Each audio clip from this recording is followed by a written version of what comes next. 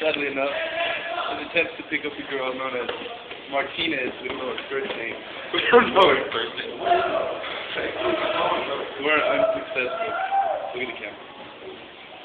Um, this, this mission will be continued tomorrow. We're going to go upstairs. We're going to take a shower. We get fresh and clean for tomorrow.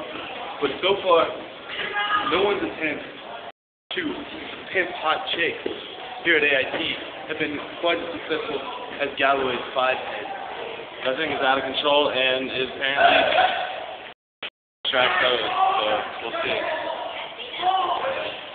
This is Ben Quevedo and Ermi over and out.